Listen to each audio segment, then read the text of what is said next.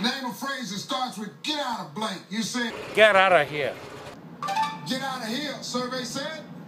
Get out of here was the number one answer. Shit, I'm saying.